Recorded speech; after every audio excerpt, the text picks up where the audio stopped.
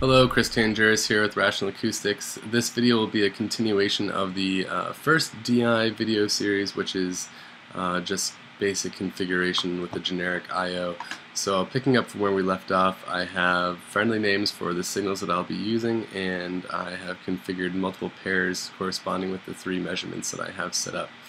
So what we're going to do is just uh, take a measurement of the speaker that I have here in my system, which is a studio monitor, and we'll uh, take two measurements of it, one with the M30 and one with the iSemcon, and then we'll average them together and use the average to create a basic EQ for the system here.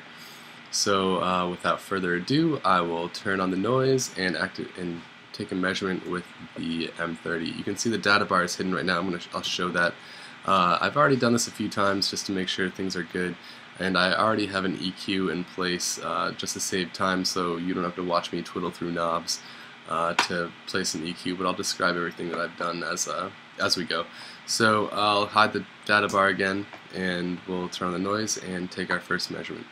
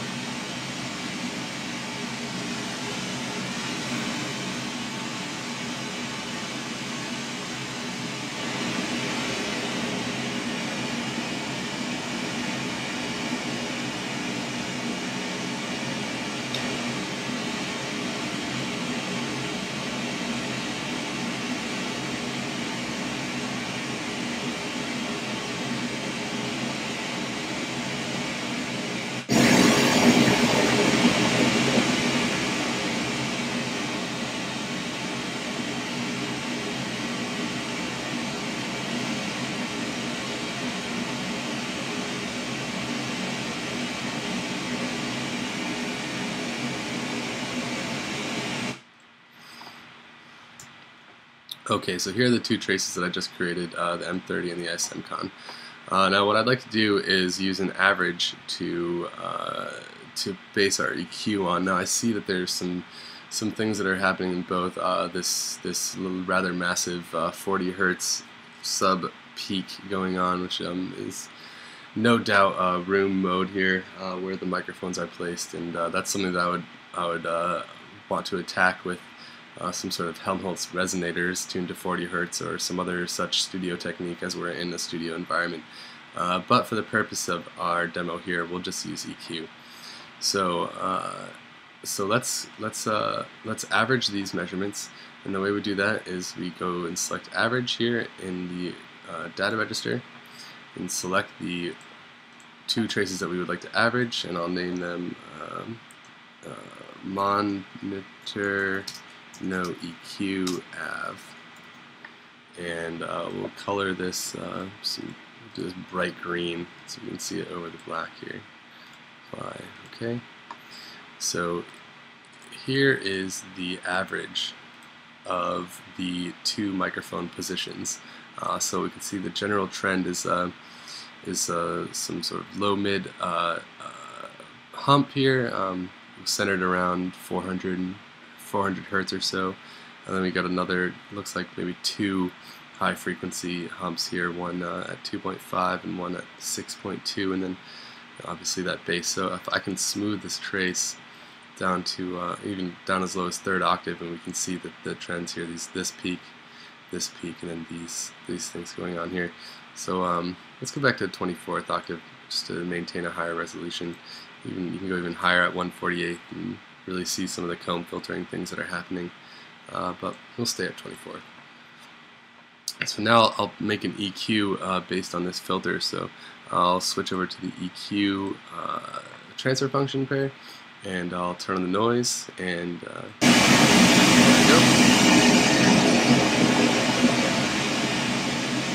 So there's the flat EQ, and I'll, I'll un-bypass this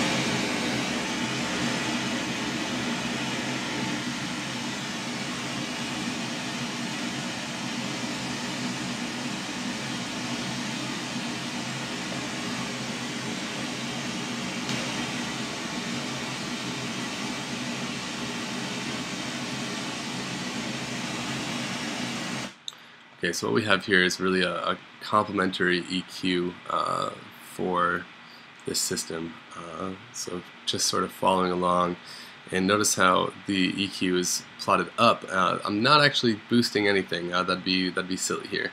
What I've done is uh, inverted the EQ trace uh, so that way it plots um, it plots inverted. So that way we can sort of line up the EQ with our trace. Um, so I would, at this point, I would listen to this and verify that it's okay and sounds good. And I might tweak it from here. Uh, this is just a general starting point. Something that I might want to address is this, or you know maybe move this around a little bit, take a little less sub depending on uh, what we'd like. So let's go ahead and uh, we'll we'll redo those those first two measurements with the EQ on and see uh, what our trace looks like now compared to the uh, the average with the EQ. So I'll hide these again and we'll redo the measurements uh, starting with the M30.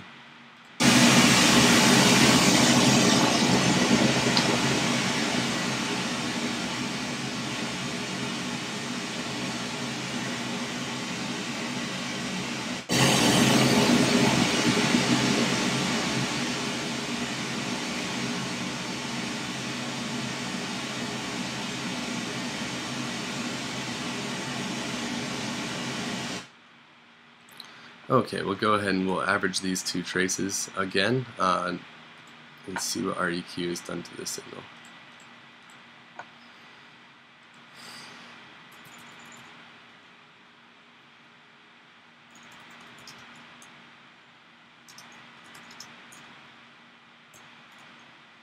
And we'll make this, uh, we'll do bright pinkish.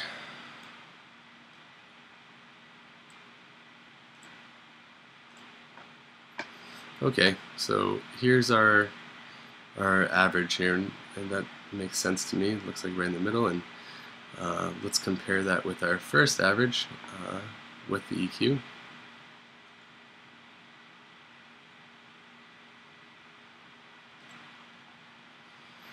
So here's the average of the system without EQ, and see we we flattened out this uh, this you know sort of two to three K range.